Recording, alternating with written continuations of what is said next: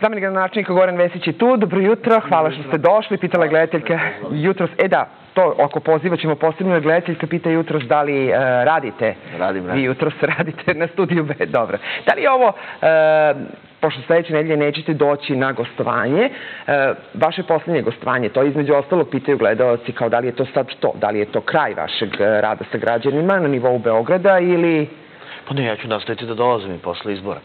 Sve dotle dok ne bude konstituisana nova vlast u, u gradu, a, ja ću raditi svoj posao i e, rešavat ću probleme građana. Dobre.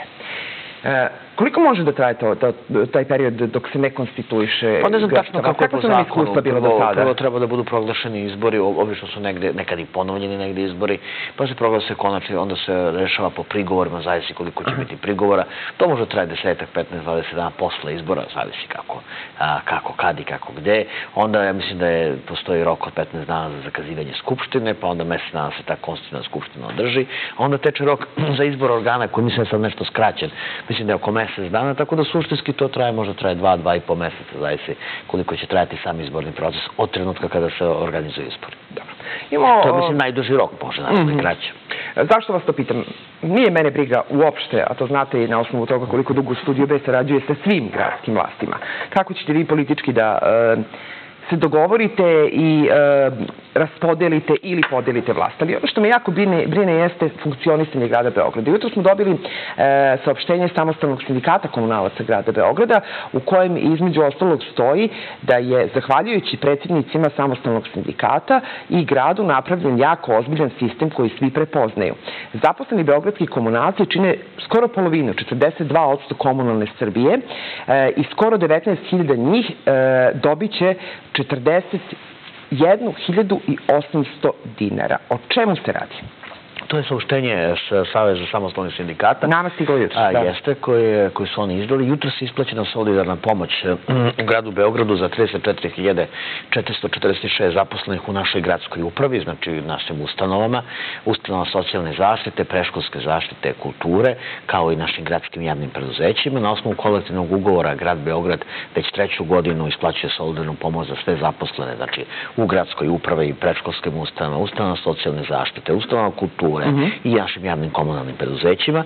A, na njihov zahtev ove godine solidarna pomoć je isplaćena u prvom kvartalu, odnosno do kraja marta. Ovo je poslednja, poslednji petak pred, znači pred, pred u koji, se, koji je u martu.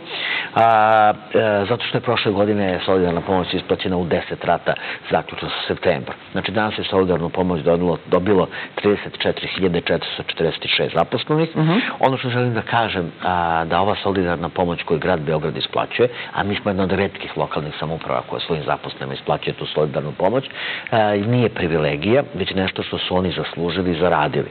Za mene su zaposleni u Skupštini grada heroji, oni rade svaki dan i subotom i nedeljom i kad su praznici, oni održavaju u gradu komunalni red. Dve godine korone. Tako je. Od 2018. godine, od kada sam ja lično zadužen za ekonomiju grada, solidarna pomoć se isplaćuje i to je nešto zbog čega na čemu ja posebno insistiram. Samo da razjasnimo, dakle, od pre četiri godine godine, nije sad, nije zbog izbora, reč je redovnom... Od pre četiri godine nije se isplaćivala ranije, nikome nije palo na pamet ranije da isplaćuje solidarnu pomoć zaposlenima u gradu. Ja mislim da te žene i muškarci rade odgovoran posao, da su oni svojim, za to dobiju manje plate nego što dobiju neki koji rade u privatnom sektoru, zaslužili su dodatak na platu, odnosno solidarnu pomoć Dobro. i dok ja odlučujem u gradu Beogradu, oni će solidarnu pomoć dobijati. Kao što su, i to, i to zaista je nešto na čemu ja posebno insistiram. Znači, ono što želim da kažem, to je znači zaista ta solidarna pomoć, pošto znam da će biti različitih pitanja, se isplaćuje iz budžeta grada Beograda. Mi smo uštedili pare u budžetu da bi isplatili zaposlenima solidarnu pomoć. Ne dobijamo je od Republike i one druge lokalne samuprave koje ne isplaćuju solidarnu pomoć mogli su takođe da uštede u svom budžetu da isplate to svojim zaposlenima. A, znači, svako je mogu da se domaćinski ponaša kao Beograd. Tako da sam ja zaista danas srećan i posebno vidite da, da sam ozaren, jer od jutros dobio... A stvarno jeste nešto od baš... jutros baš... dobijam poruke radnika iz različitih preduzeća, pošto moj telefon inače znaju svi. Ja se ne krijem, niti imam obezbeđenje, niti, me, niti imam bilo ko potrebe da ide sa mnom. A, i, i svako, i dobijam dnevno bar 10-15 poruka građana zbog nekog problema, ne znam nikako dolazi na telefona, ali u svakom slučaju... Nije pretirano teško reći. To, to je tačno, nije, dugo postoji, ali od jutros dobijam poruke iz različitih preduzeća i presrećan sam zbog toga, zato što mi je puno srce, jer to govori da radimo dobar posao. Jer ovo je grad, ja, sad moji odnosi sa sindikatima su jako dobri. I a, videli ste sami šta su napisali. Ja svaki, svaki put kad se sasvim s njima kažem, mi nismo dve strane. Ne postoje ovde dve strane, s jedne strane vi koji ste zaposleni, a s druge strane neko ko upravlja gradom. Uspeo sam da napravim za ove četiri godine smo mi jedna strana. Jer smo mi jedna velika porodica koja radi za Beograd. I zaista sam srećan zbog toga i zato mi je danas puno srce što su danas dobili ono što su odavno zaslužili. Dobro. Da čujemo, gledalce. Dakle, radi Goran Vesić. Radim, radim. A nismo još dali, imali ste novinarsku karijeru, jer kod nas niste primali honorar. Ne, kod, vas, da. kod vas ne. Nisam radio nikada na studiju B. Da.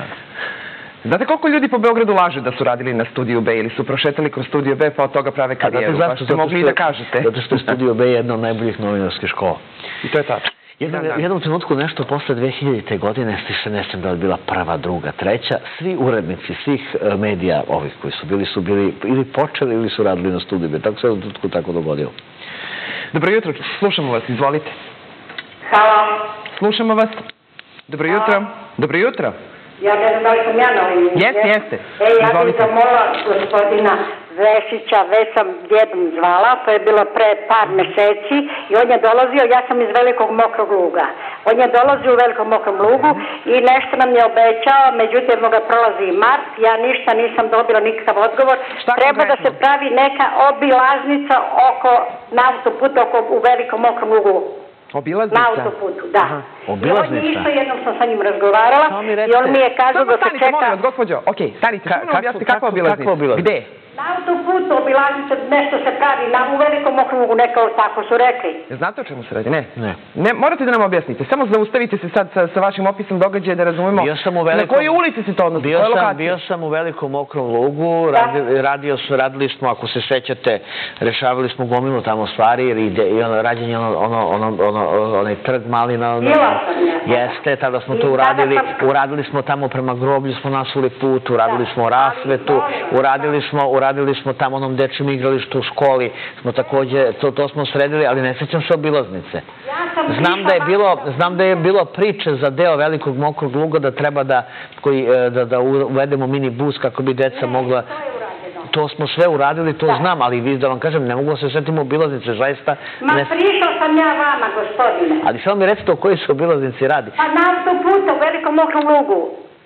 To je ulaz u velikom mokrom lugu sa bulevara. Autoput veliki mokrom. Gde, Dobro. šta da se obiđe? Šta treba da spoji Da ta se obilaznica? Treba, pa nemam pojma. Rekli su mi da se ruše neki 12-13 kuća i moja se kuća ruši, da ne uložem ništa. Ulica, dajte nam Ja ulicu imam- u kojoj ste. Samo mi dajte, samo mi dajte ulicu, proverit ću. Moja ulica o, Zabranska 1A. Zabranska. Radosavljević Dobrila. Zaplanska. Z, Zabran, Zabranska. Aha, Zabranska, Zabranski. 1A. Ja to znam, molim vas. Dobro, proverit ćemo. Proverit. Ja ću Hvala proveriti, ostavite telefon pa će vam neko javiti. Moguće da je predviđeno proširenje a, ulaza i moguće da je onda predviđena ekspropriacija.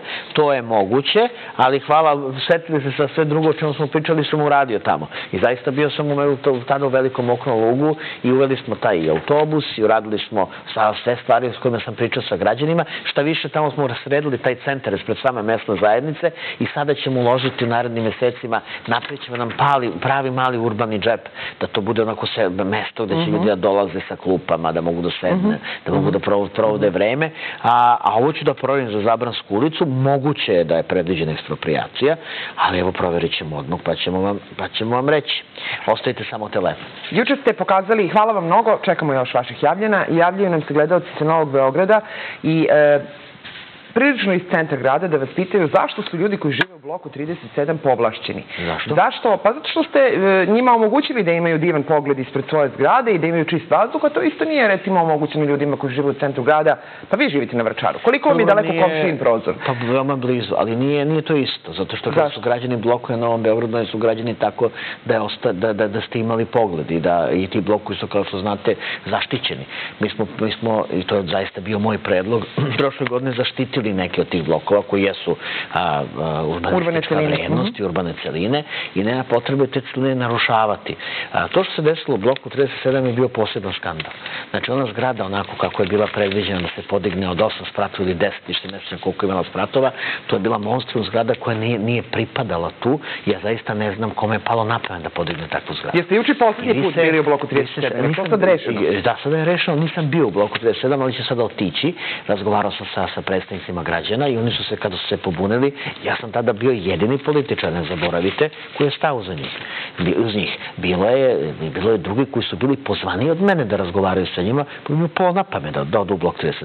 Ja sam otišao u blok 37 i pričao sa ljudima. Tada sam im rekao da ću problem rešiti. Prvo što sam im obećao to je da više neće biti gradnje i zaustavio sam gradnju, to se dosta još prošlo jeseni.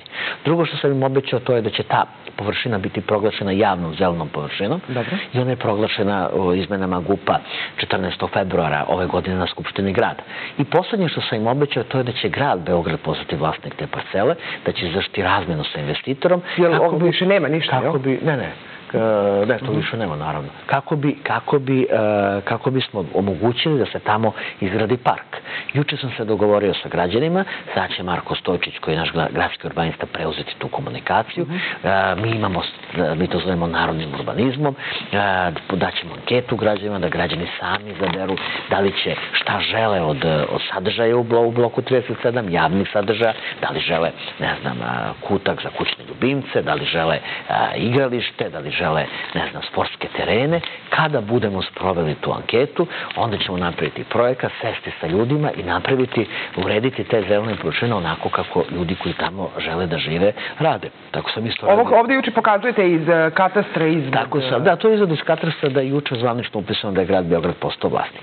I tako sam održao reč i pokazao da možemo da rešimo probleme koji ne izgled, da izgledaju nerešivi. Ne znam da li se sećate da je bilo različitih izjava po medijima da je to nemoguće rešiti i to ne samo iz, iz opozicije, bogom iz vlasti, da to je da je to da je to nerešiv problem. Pa znate, nema nerešava problema kad imate želju, kad imate volju i kad imate znanje. Ja mislim da imam ih sve, sve tri, ili bar sam pokazao na ovom slučaju da imam i pokazao sam da možete da rešavate probleme ljudi. I to je sad kraj Naš- problema u bloku tako, to je 37. sada, to je sada, sada je ta priča završena. Ono što, je- ono što je posledica bloka 37, kada smo usvajali plan 14. februara na Skupštini grada, mi smo zabranili gradnju u svim otvorenim blokovima na ovom Beogradu. Tako da znači da znaju građanki i građani. Neće se dogoditi gradnje ni u bloku 8a, ni u drugim blokovima gde su se pojavljivali različiti planovi da je bila moguća izgradnja na tim otvorenim, otvorenim, a, u otvorenim blokovima. To se sada neće dogoditi. To smo uradili na moj zahtev, zato što ja zaista smatram da te blokove treba očuvati i doraditi ih sa novim javnim sadržajima. Ja nisam neko ko misli da treba a, zelene površine t- smanjivati, ja mislim da treba povećavati.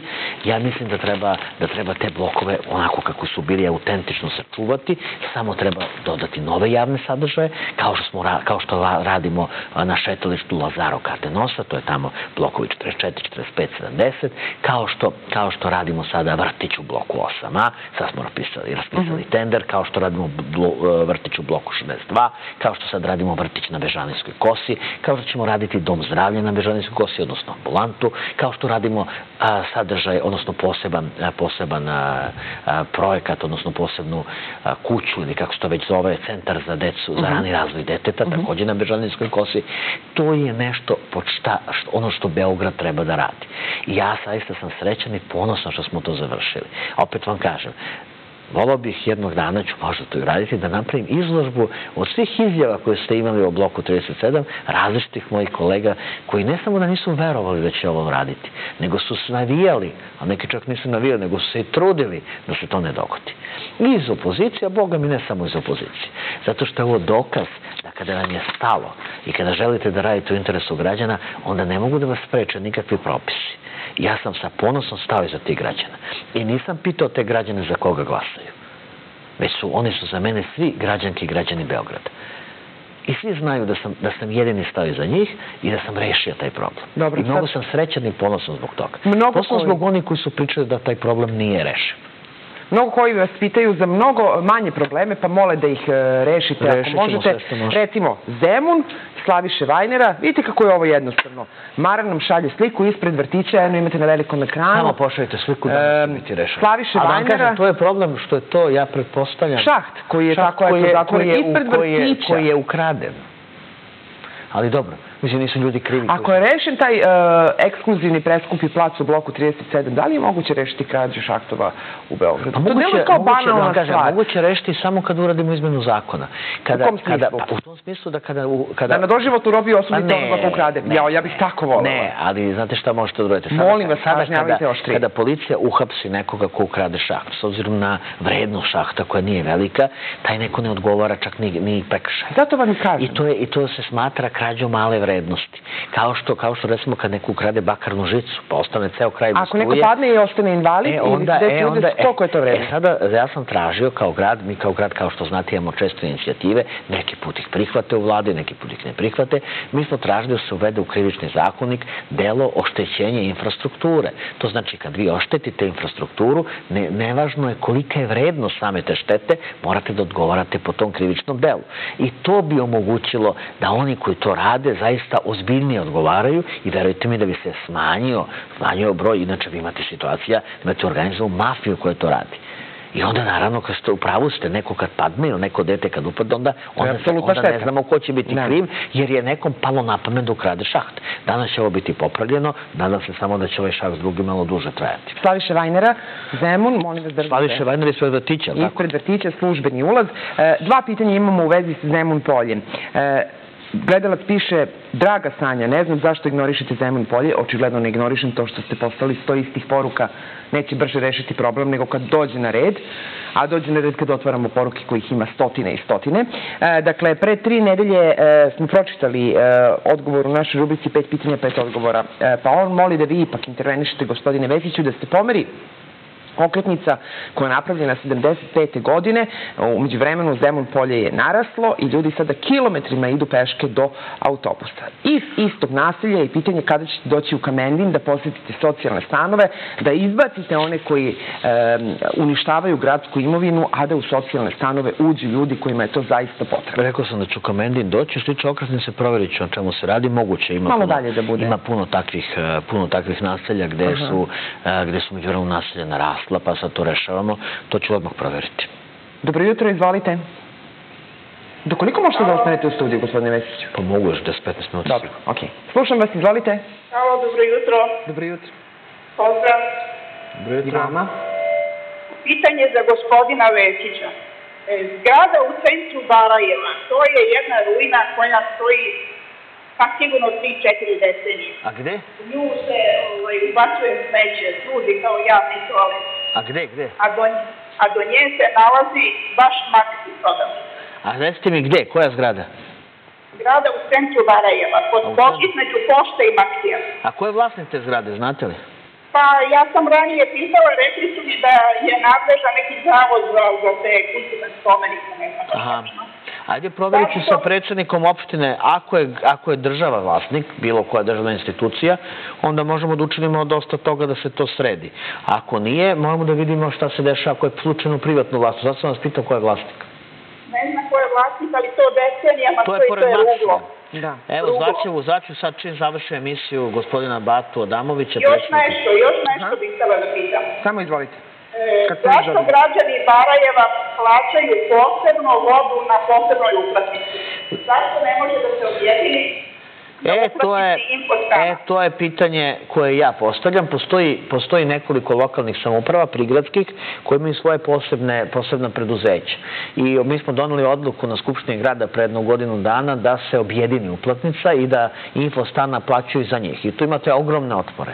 A ogromni otpori se nalaze upravo zato što kada imate objedinjenu naplatu, tada neko na terenu ne može da nekome naplati, a nekome ne naplati. I to je, u tome je problem. Ni ne ide u opštinsku kasu, nego ide u gradsku. pa ne ide u gradsku, pošto to sam sediše deli, nazad opštinski. ali- to, to, to nije sporno, to na kraju dobije komunalno preduzeće koje treba da dobije. I verujte mi, to je kao da ne znam šta tražimo, kao da im krv vadimo kada tražimo da se izvrši objedinjena naplata. Mi smo kada smo radili, kada smo centralizovali javnu rasvetu, kad smo uzeli iz, od, od pregradskih opština i kao što možda vidite sada i menjamo kompletnu rasvetu, mi smo našli čitava poljoprivredna gazdinstva koja su bila priključena na javnu rasvetu. Stvarno? I zato, i I zato su se, ništa, oni su svi isključeni, podnete su krivične prijeve. Ali zato su se mnogi, neki od njih borili za javnu rasvetu kao, kao, kao su se borili Nemci pod Stalingradom. Ne daj Bože da im uzmete javnu rasvetu. To je, u građani se bune i tako dalje. E tako mi je sa ovim. Potpuno ste u pravu, doneta je odluka, nadam se da ćemo je brzo sprovesti, a, da se objedini ras, naplata za čitav sistem, bez obzira da li je to gradsko preduzeće ili opštinsko preduzeće. Ja smatram to normalnim. Ali, opet vam kažem, uvek postoje neki interesi zato i to jeste problem. A, mislim da Barajevo nije pravilo problem, da je jedna od opština koja je na to pristalo, ali, ali mislim, re, rešit će se to brzo. E, neke male stvari Beograđani vrlo često e, smatraju svojim najvećim životnim problemima.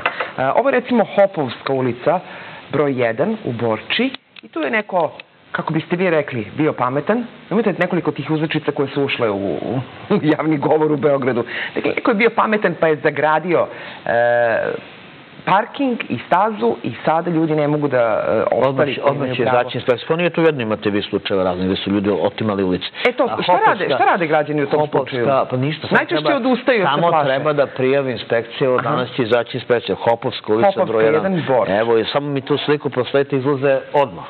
Dobro. E, ono što ubedljivo najviše stiže kao pitanje, to je kada je moguće imati prijem kod Gorana Vesića i šta će Goran Vesić dalje da radi, ali o tome smo rekli da nećemo sad Pa da kažem, pričamo. malo na početku ste rekli, Prvo mo- to. možda nespretno jednu stvar, šta ću se ja dogovoriti posle izbora. Ja se Ne, ne mislim da se- to vi lično, nego ja generalno. Ja se, ja se ne dogovoram, ja svoj posao Stvarno? radim, ja svoj posao radim najbolje što mogu, a moja, ukoliko mi dobijemo većinu na ovim izborima, a, moja stranka, odnosno lista na kojoj se ja nalazim, tada će moja stranka procenjivati da li je zadovoljna mojim radom ili ne. Možda nisu zadovoljni. A od toga zavisi da li ću ja nešto raditi ili neću raditi. U svakom slučaju, ja svoj posao radim odgovorno, trudim se da radim u interesu građana, ne mogu da rešim sve probleme, ali sam jedan od retkih koji, je- spreman uz predsednika Vučića da sasluša probleme ljudi i kao što vidite da reaguje tamo gde može da reaguje. I ja zaista sam ponosan zbog toga. Tako da, tako da dok sam na ovoj poziciji, ja ću naravno truditi se da rešim što više problema. Nisam mislila uopšte na vas lično. Ne da se pravdam, nego samo kažem da pretpostavljam da su tako važne pozicije nekako predmet malo širih strategija i dogovora. Ali mi se... E, Pretpostavljam i ja. ka... na osnovu čega? Ne. E, sad sam zaboravila šta je trebalo da vas pitam. Da, rupe na putevima. Da li će biti prolećne akcije krpljenja rupa naravno, e, naravno, da će, Beograd? naravno će biti prolećne akcije, sada krećemo u krpljenje rupa. Mhm. a, uvek posle zime se pojave rupe iz različitih razloga, prvo zato što imate puno saobraćajnica kojima je vek već istekao, I onda kada bacite sto se pojave rupe, a tamo gde inače a, su saobraćajnice, znači nisu obnovljene duže, a nama treba skoro milijardu evra da obnovimo sve saobraćajnice u gradu, a, tamo se pojavaju recimo i od vode ili od leda i tako dalje, tako da sada kreće obnova, oni to rade, imaju sistem po kome rade preko stotinu rupa za dan i zaista mogli ste da primetite poslednje dve godine da nije to tako urgentan problem bio kao što je bio ranije. Ovo pitanje koje će da postavim sad je vrlo delikatno, ali neću da izbegavam teške teme, zato što vas e, mnogi građani pitaju i traže e, rešenje instant ili bilo kakvo drugo rešenje za e, takozvana nehigijenska naselja u Beogradu. Pitanje je delikatno zbog toga što zadire i u, ajde da kažemo to, manjinska prava i onda je naravno jako nezgodno rešavati ono što je komunalni problem sa tim premisama. Pa ipak, deponije koje se pojavljuje, verujem, moguće rešavati. E, Čukarička padina i Vuka Vrčević. Što se tiče Čukaričke padine, a, mi tu taj problem deponije, odnosno nehigijenskog naselja, Mhm. rešavamo tako što smo zajedno sa Evropskom unijom pokrenuli projekat raseljavanja te eh, nehigijenskog naselja. A, čisto da, da bi oni koji eventualno imaju nameru da se dosle znali, a, svi koji su tamo su popisani, znači svako ko bi se eventualno doselio neće, neće imati nikakva pravo u odnosu na one koji su već živali tamo. A, rešavat će se onako kako smo rešili, rešili kroz projekat Sagradimo dom zajedno preko hiljadu romskih porodica koje sada žive u normalnim uslovima koje su primenje, kako da kažem, a, koje su normalne za čoveka a, i tako ćemo rešiti problem toga naselja. Mhm. Inače, tamo će grad graditi zgrade za zaposlene u upravi, a, gradit će se stanovi za mlade bračne parove, to je dobra lokacija, tu lokaciju je kupio grad Beograd, a, i, a, jer je to lokacija koja je a, blizu metroa budućeg, pored Ane Ciganlije, pešice možda koliko, 5, 6, 10 minuta, a, imate odličan javni prevoz, tako da ćemo tamo graditi stanove, a što se tiče, što se tiče Vuka Vrčevića, a, tu će Beograd put napraviti svoju, svoju bazu i na taj način ćemo rešiti problem, a, privremeno rešiti problem. Ograditi i sprečiti pristup. Ograditi, tako je, pošto vi znate smo mi tu lokaciju čistili pre nekog vremena. Ma čistite je stalno, mi e mi na da čemu, na čemu ja insistiram, no, što opet nije bilo baš sluha a, sa onim ministarstvima kome sam, kome sam to predlagao, to je da se, znači, to je da se bacanje smeća sankcioniše tako će se oduzimati kamion onome ko to radi.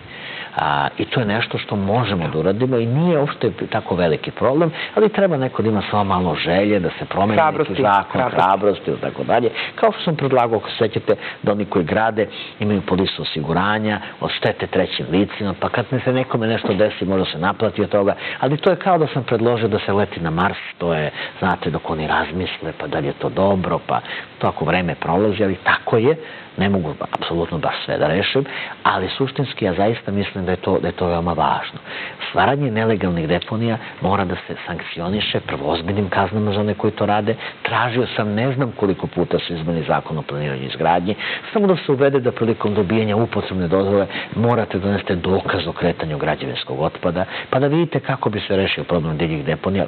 90% njih ovako, pa onda oni naravno koji, to, koji bi pored toga radili da možda oduzmete vozilo koga se vrši istova. E to, i to imate u mnogim zemljama Evrope, ali ja kažem kao da neki put tražim da se na Mars leti, to otprilike dođe Pa čekajte, tako. Srbi su omogućili let na mesec. Sad zvučim kao Milomir Marić, ali to je istina. Sedam naših inženjera, pa nađite sedam Još kao pravnika. Mara izdistižete kako je Churchill bio u Beogradu. I Da, da, i kako mu je neko vambračni sin, ne bih zaista. e sad, hoću da vam Vi ste vi kažem, u pitanju. e, hoću da vam kažem, to je, e, to je zaista, e, zaista možemo da rešimo uz malo dobre volje i malo saradnje. E, i mene, ja zaista mislim da je problem divljih deponija jedan od najvećih problema Beograda i to može da se reši samo ako budemo, skonce, ako budemo radili svi zajedno. Tako da se nadam da, će, da, ćemo, da, ćemo, da ćemo taj problem konačno rešiti, rešenja postoje, samo treba da ih primenimo. Um, pohvala za sve i zahvalnost za sve vozače e, GSP koji su junački izdržali ove dve godine Jutro pandemije. su dobili solidarnu pomoć. E, i pitaju odmah imaju nove zahteve. to su nova vozila za GSP, Željko Ranković. E, Sto, stiže stotinu, stotinu novih Kada? vozila ove godine. Pa već mislim da ćemo narednih deseta dana stići prvih deset autobusa zglobnih. Aha. A, zamenit ćemo motore Euro 2 i Euro 3 sa tim, sa tim autobusima na koji, koji, koji idu na pogon, koji je prirodni gas. A, I tako ćemo... Da, inače moram da vam kažem, jedna od najsmešnijih stvari i najglupljih stvari koje sam prošao. Imate jednog bivšeg gradskog odbornika koji je napravio nevladinu organizaciju koja finansira jedna opozicija stranka. Ne važno. Je li ekološka? Nije ekološka. Čudno. Ona je svaš, ona, ona je organizacija za svaš- Multipraktik. Multipraktik, da, oni sve znaju. E, e, imaju, e, i onda su oni na svoje vremeno, kad smo kupili autobuse, pošto ne znaju ništa, onda su, onda su a, predložili, a mi smo kupili autobuse na prirodni gas, to jest naručili autobuse kako bismo smanjili zagađenje. Onda su oni, kako je krenula ova kriza, rekli hitno prekinite sa autobusima jer kao cena gasa raste. A pritom ne, ne gledaju da cena gasa, prirodnog gasa koji se kupuje u Srbiji, ne samo da ne raste, nego mnogo niža od cene, od cene dizela. Sad nema veze? Znači, da, odjednom im nema veze ekologije, to je to. Samo da budu protiv nečega. I svaki put kad čitam ta saopštenja se smijem tolikom stepenu diletantizma, neznanja, ostrašćenosti i želje da pokažete da nešto znate, a pritom, a pritom kada ste bili gradski odmah, čak niste ni dolazili na gradsku skupštinu. E to vam je otprilike tako. Tako da ćemo mi kup, kupili smo 100 novih autobusa na prirodni gas, a, stigli su i novi školski autobusi, 10, desetak prvih stiža, oni će svi biti isporučeni mislim do septembra, oktobra i tada ćemo naravno imati, imat ćemo naravno, a, zamenit ćemo te stare autobuse. Ono što je važno, a, koristili smo jednu dobru liniju Evropske unije, a, tako da kada budemo uveli tih novih 100 autobusa i budemo zamenili, a, zamenili a, te stare autobuse koji su Euro 2 i Euro 3, dobit ćemo povraćaj od 10% ukupne vrednosti investicije a, kao posticaj za, za to što smo uveli ekološka vozila. Otprilike 30 i nešto miliona evra košta, košta čitav, čitav taj posao, znači oko 3, malo više od 3 miliona evra dobit ćemo nazad Da. na račun GSP. pa koju ćemo iskoristiti za kupovinu nekih drugih autobusa koji su takođe, koji su takođe a, a, mogu da se koriste, koji su ekološki. Još pet minuta za razgovor sa Goranom Vesićem, e, zamenikom gradonačelnika Beograda. E, Više smo dobili molbi i e, želje Beograđana da se ne uklone svi tragovi bombardovanja iz 99. godine. E, arhitektonski e, nije dobro, naravno i estetski, da ostane generalštab ono što je trenutno, a to je ruševina, ali je važno zbog našeg kolektivnog sećanja. I ta molba da ne preuređujete generalštab. Koliko je u nadležnosti grada i da li biste vi bili za to? Pa to je samo uvod u sledeće pitanje. Dakle, Nije u nadležnosti grada, ali ja mislim da generalstvo treba preurediti, samo što treba ostaviti takođe, slažem se, tragove, odnosno delove fasade, gde se se viditi da je, da je bilo bombardovanje. Tako smo radili inače sa RTS-om.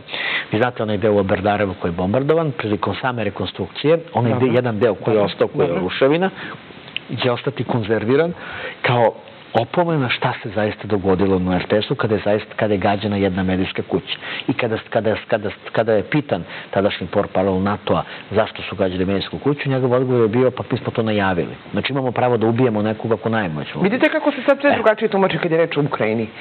Vidim da narodu želim sve najbolje, ali vidim da se koristi isti narativ. Da. A, tako, da, tako da sa te strane a, zaista u, pravu ste, treba sačuvati, sačuvati obeležje, odnosno da, kažem da postoji da, da se ljudi sećaju, ali zgrade moramo da obnovimo. Ali što ne znači da ne treba jedan deo te zgrade da ostane konzerviran. I kao, što ćemo tako raditi sa RTS-om, da ljudi koji dolaze, i stranci, a i naši ljudi, se podsjete šta se zaista tu dogodilo. Ostavite nešto zato što ne sme da bude... Inače, ta zgrada je bombardovana iz čisto hira i pošto Da. je bila prazna kad je bombardovana. Da. Inače, to je jedno da genijalno arhitektonsko rešenje. Samo da bi se, samo da bi se uništila potpuno prazna zgrada. Um, nikad Kao što, nismo kao što znate da je komanda ratnog vazduhoplovstva bila prazna. Ko je luda u sred rata sedi u komandi vazduhoplovstva, u takvim, takvim zgradama se ne sedi kad je rat u pitanju. Uvek se izađe, uvek se vojska izađe na druge lokacije. Znači, potpuno praznu zgradu su bombardovali iz, takođe iz čisto hira. 99. E, bili ste duboko u politici e, i verujem da ste znali mnogo i o tome što će biti i onome što e, je se u tom trenutku dešavalo. Koji trenutak pamtite iz vremena bombardovanja posebno? Možete da budete Pa potpuno lični, ne tražimo da sada politički. Taj početak bombardovanja kada shvatite da je počeo rat. Kada shvatite da... Gde ste bili? Šta ste Pa, radili? bio sam, bio sam u Beogradu, više se ne sećam, se- mislim da me to čak na ulici zateklo, te prve sirene, to je bilo Mhm. nešto malo pre 20 sati. Ali a, nekako, to je uvek valjda takav osjećaj. Dok ne počne rat, vi se nadate da se to u stvari neće dogoditi, da će uvek da će, da će, ne znam, da će prevladati razum, da će neki kao dogovor biti napravljen i tako je, bez obzira što, bez obzira što mi svi znali tada da, da, da će to se desiti, ali nekako valjda ljudski da se nadate da, da, da se najgore neće dogoditi. I taj trenutak kada prvi put čujete sirene i kada shvatite da, je, da su te čitav život promenjeni, da su svi prioriteti promenjeni i da jednostavno zaista počinje rat. E to je nešto što je, što je najstrašniji trenutak. Ja pretpostavljam da svi to, svi to naši vaši gledalci pamte. Da, svi pamtimo, nažalost, mnogo takvih trenutaka. Ali ajde da idemo ka nečemu boljim. E, E, samo da najavim, Da. uvodimo sledeće nedelje tri nove autobuske linije. Linija 64, znači Zvezdara, Zeleno, Brdo, Šumice. To je, inače, to je bilo na zahtev, na zahtev građana, kad sam bio na konjerniku, razgovarali smo o tome, a tada sam im to obećao. To su inače sad tri moja obećanja, kao što vidite, ja se nekako trudim da ispunim obećanje. Zatim linija 87A, to je Čukarička padina, sad smo njoj pričali, Ada Cigalnije, Banamo Brdo, Čukarička padina, znači ona je kružna linija. To je samo jedan autobus koji će omogućiti ljudima da lakše mogu da funkcionišu. A, zatim a, linija 313, znači Mirjevo 4, Veliki Mokri Lug, odakle se javila gospođa, Kaluđerica, Leštane, to je takođe bio jedan od zahteva kad sam pričao sa građanima Velikog Mokrog Luga, a, i to je, e, to je takođe, to, to ćemo uvesti, znači to sve tri linije koje, koje uvodimo a, početkom sledeće nedelje, odnosno tokom sledeće nedelje, da će biti ponedljak, utorak, sreda, ali tokom sledeće nedelje apsolutno sigurno. Da. Tako da. E, čitam sada u vašoj kolumni da je 1908. u Beogradu postojalo 63 fabrike sa više od 4000 zaposlenih. Jeste. E, ako Mislim dobro- fabrike, mi ih Da, zovemo da, fabrike, neke da, su bile malo veće radionice. Da. E, doneli ste nam novu knjigu. Jesam. Vi ne odustajete od vaše priče o Beogradu. Ne, ja ne I ona odustajem. nije politička. Tako je, ovo je moja nova... Ili jeste? A ne, ona nije politička. Ovo je moja nova knjiga o Beogradu. U njoj su u njoj je novih 60 priča iz politike. Jedna od njih je danas objavljena, a da on se na naravno ne nalazi u knjizi, što znači će možda biti i treće knjige. Ono Materijala sigurno ima, ovo. Ima sigurno. Ono zbog čega sam ja posebno srećan, to je što sam iza sebe ostavio trag a, pišući o Beogradu. Da biste pisali o nečemu, morate prvo da, da ste obrazovani, da znate da pišete i da volite svoj grad, da volite, da volite svoj posao, da imate vremena i da želite da nešto ostane iza vas. Jer sve prođe. Prođe i funkcije, prođe i život. Svesni ste toga? Tako, Da naravno. funkcije prolaze? Naravno. A e, ja sam jedan od redkih političara koji je jednostavno uvek spreman da ne bude na funkciji. Prema tome, a, sve to prođe, ali neko će za sto godina naći ovu knjigu i čitaće nešto o Beogradu. Ja sam srećan ako sam, ako sam ovim svojim knjigama sačuvao makar jednu osobu i jednu značajnu ličnost ili jedan događaj iz naše istorije da se toga ponovo sećamo. Jer ako ne naučimo lekcije iz prošlosti, nećemo biti spremni za budućnost. To je, to je jednostavno jedna od osnovnih lekcija, lekcija u, u životu i u društvu. Prema tome, a, srećan sam što, sam, što mi je ponovo izašla knjiga. Znate da je prošla knjiga bila paljena i znate šta se, se dešavalo. Svašta sam slušao u toj knjizi, te da ja ne pišem, te šta će političar da, da piše o Beogradu. I to su uglavnom govorili ljudi koji su polupismeni, koji nikad u životu ništa napisali nisu, koji da znaju da se potpišu, a su zato prepametni, sve drugo znaju i znaju nekog drugog da kritikuju. A, I to je, i to sam, ali ja sam uporan. Meni su moji čitaoci dali snagu. Prva knjiga o Beogradu doživjela dva izdanja, i ovo veliko izdanje, i ono izdanje koje je bilo na kiosima. Pored toga, prevedene na engleski, na ruski, prevedene na kineski, sada se prevodi, na nemački, francuski i na, a, na mađarski jezik. A, prema tome, Na mađarski? Tako je. To je nekad bio zvanični sada- jezik u Do sada Beogradu, je da. prodato preko 25.000 mojih knjiga o Beogradu. Preko 25.000 porodica ima ovu knjigu. Usno za različite moje knjige. Tako da sam ja a, postigao svoj cilj. Jednostavno, ostavio sam iza sebe trajni zapis o našem gradu, nastavit ću da pišem o Beogradu uvek, jer da biste pisali, kao što sam rekao, morate da volite svoj grad, morate da ga poznajete i morate da budete obrazovani da biste pisali. Da pisali, jer morate da budete pismeni Jer u početak, obrazovanju da. nema prečica i nema, i, ne, i tu pare ništa ne pomažu. Dobro, već nas gledalci pitaju da li možemo knjigu da poklonimo. Danas nećemo. Ova knjiga je za Sanju. Sad će Hvala. napisati posetu posle emisije, a poklanjat ćemo knjigu, naravno, u nekoj sledećih emisija. Izvolite, Sanja. Hvala mnogo. Ovo je prva E, knjiga. Dobro, dobili smo jedno pismo, hoću da s tim završimo. Na, mnogo hvala, zaista. E, pismo jedne majke, čiji je sin preko e, Fondacije za mlade talente konkurisao za neku pomoć.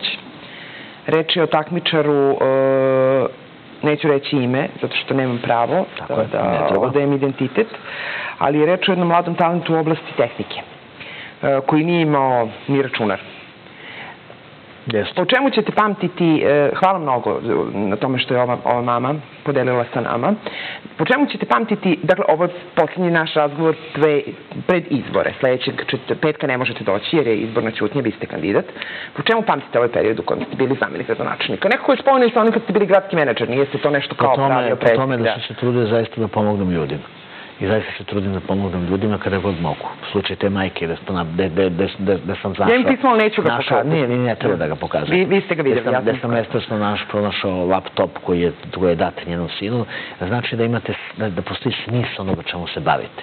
Šta je Znači, smisao? to znači kada dođete negde da se rukujete s ljudima, da ih pogledate u oči, da čujete njihov problem, da probate da rešite njihov problem. Ne da se ponašate kao da ste došli, kao da ste Bogom dani, da okrećete leđa ljudima, da ste vi, ne znam, idete sa, ne znam, sa obezbeđenjem i ne znam, vi ste... vi ne idete sa obezbeđenjem? Ne, nikada. I nikada neću ići. A, da, Jel idete i dalje peške na posao? Stvari su se malo Naravno, zakuvale u gradu, nije da tako idem- jednostavno. naravno da Niste više naravno da idem, naravno da idem pešice na posao. I hoću da vam kažem, ja mislim, ja, ja mislim da je posao političara da pomaže ljudima i da se, da se, da kažem, da budem precizan, da se trudi da pomogne ljudima. Ne možete da rešite sve stvari. I za meni, to je neverovatno kad mi, kad mi dođu, jer to nisu samo ljudi koji, koji su u politici, već i neki novi, pa mi kažu, znate, ali kaže, vi, a, juče sam jednu, jednu novinarku koja mi kaže, ali vi stalno rešavate neke probleme. A zašto se vi tako promovišete? Ja kažem, nikakav problem, gospođo, dođite vi na moje mesto pa rešavate probleme. Pa se vi promovišete. Evo, probajte vi da rešavate probleme. Znači, ne smete da rešavate probleme, jer onda ste kao, ne znam, ističete šta? Onda ste kao drugačiji od drugih. Šta treba da ne rešavamo probleme? Ne, onda se to smatra... Sad treba da dođem, rekla, da dođem, sad, podilaženjem, ne, sad, sad treba da dođem u veliki mokri lug i da se ne, poku, da ne, ne pozdravim s ljudima, nego da mislim da se dođem da me snimi kamera To i da, ljudi, to i da to traje, birači, i da to traje, i da to traje 10 sekundi i da kažem ha, doviđenja, ja sam dao svoju poruku i da odem iz velikog. To treba da radim. Ne. Nego dođem i sednem s ljudima, odavim sat, sat i po, pričam sa njima. Sa ljudima, a ne sa biračima. Sa ljudima sa ženama i muškarcima koji imaju svoje živote, koji imaju neke probleme. Neki su problemi rešivi, neki nisu rešivi, sa neki, neki mogu da se reše sa malo dobre volje, neki sa nekim jednim telefonskim pozivom, neki se ne mogu rešiti, ali, ali vaš posao je da saslušate te ljude. I ja sam zato srećan i što, što, uh, što, što uživam u tome, zaista uživam u tome da, da zajedno sa ljudima rešavam probleme. Malo pre ste me pitali malo i cinično za blok 37, jer su oni kao, ne znam, zbog nečega povlačeni, Da. ali ja sam bio srećan juče kada sam rešio taj problem. Zato što niko drugi nije hteo da ga rešava. Niko. Niko nije hteo da ode među te ljude.